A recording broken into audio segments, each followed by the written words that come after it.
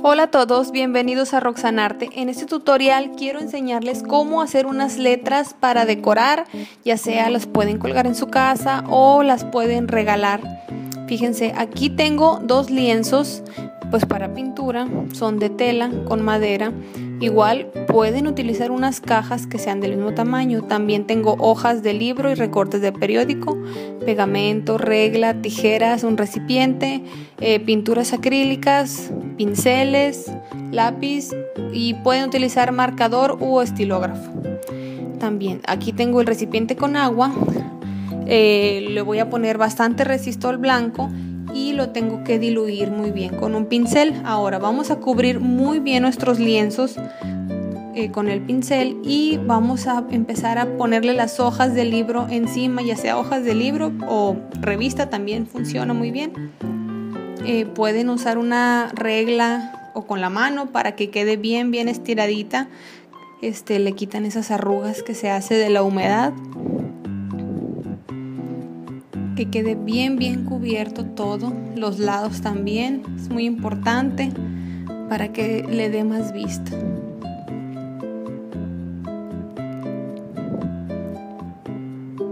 Ahí usé una medida especial para los lados para no hacer tanto bola el papel, no necesitan muchas capas, ¿eh? con una capa es suficiente.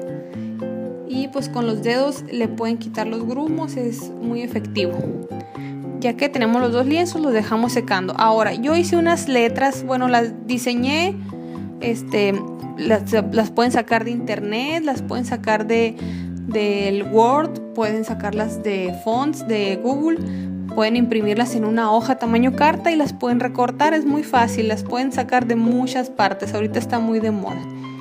Ahora, yo hice estas letras que entre me basé en algunas y las y les agregué cosas las dibujé a una medida adecuada que quepa en mi lienzo.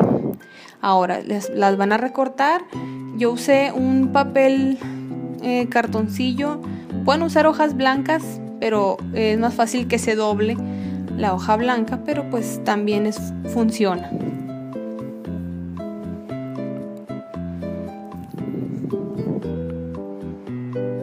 Aquí en la letra hice un diseño eh, con figuras a los lados, pero no me gustó, voy a utilizar solo la parte de adentro.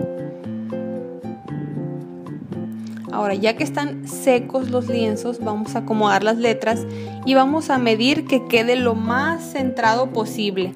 ¿Sí? Pueden medir si mide 5 centímetros de arriba, igual de abajo y, pues de los lados también. Y con un estilógrafo marqué toda la, la silueta de la letra y con un lápiz pues dibujé las figuras que tiene por dentro. Esto es por si me llego a equivocar eh, o que me tiemble la mano, pues ya lo corrijo más fácil.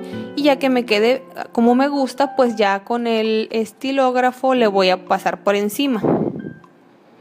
Igual repetimos el proceso, medimos que sea la misma medida que el otro lienzo para que no se vean eh, disparejos.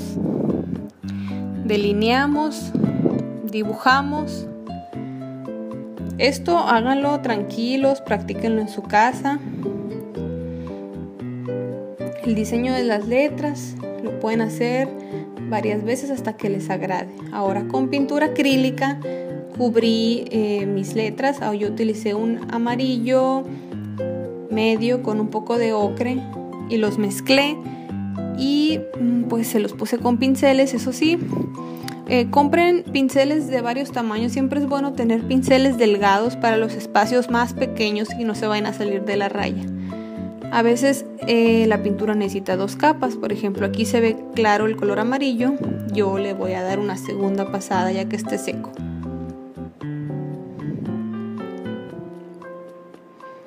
Y sí es bien importante tener pinceles delgados para esos espacios muy pequeños son de gran ayuda.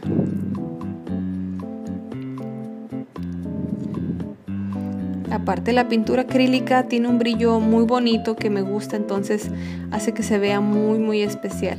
Ahora con mi pincel delgado lo delineé. Ustedes pueden utilizar también un marcador Sharpie o un estilógrafo, no tiene que ser a fuerzas con el pincel. Si les da miedo que tiemble la mano o algo así, háganlo con marcador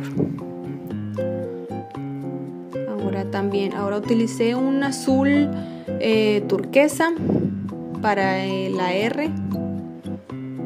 Este color es un poquito más cubridor que el amarillo.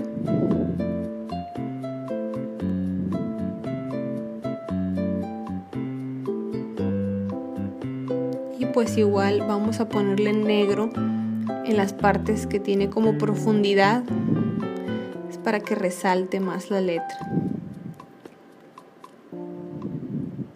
Ustedes pueden elegir los colores que quieran, puede ser si es para una amiga, puede ser su color favorito, si quieren regalárselo al, al novio o no sé, a la novia, a quien quieran. O simplemente pues quieres decorar tu casa, pues los colores que más le vengan a tu decoración.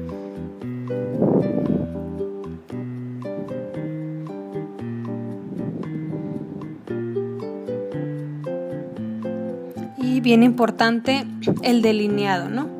Ahí yo les sugiero que si quieren aprender a delinear con pincel delgado, simplemente practiquen mucho, es todo lo que les puedo decir. Ahora, este diseño lo preparé eh, previamente en una hoja, no lo estoy inventando. Siempre lo hago antes. Yo les recomiendo que hagan sus proyectos antes de ver cómo van a ser a la hora de pintarlos ya directamente sobre el lienzo. Aquí ya lo había planeado, entonces ya, ¿no? Con una regla también, bien importante para que quede derecho le ponemos estas líneas horizontales que hace que se vea eh, más sofisticado. Y con una regla van a hacer un marco alrededor de su letra que no se va a unir de las esquinas y, van a hacer unas pequeñas eh, curvitas muy lindas. Esas lo saqué de Pinterest, vi en un diseño así que tenía como unas esquinitas redonditas, muy bellas, entonces eh, pues creo que le va bien a este diseño. Pueden mezclar ideas, pueden buscar en internet y van a ver que va a salir algo muy padre. Y ahí quedaron, ya están secos y listos para colgar. Ojalá les haya gustado y pues no olviden suscribirse y nos vemos en el próximo video. Bye.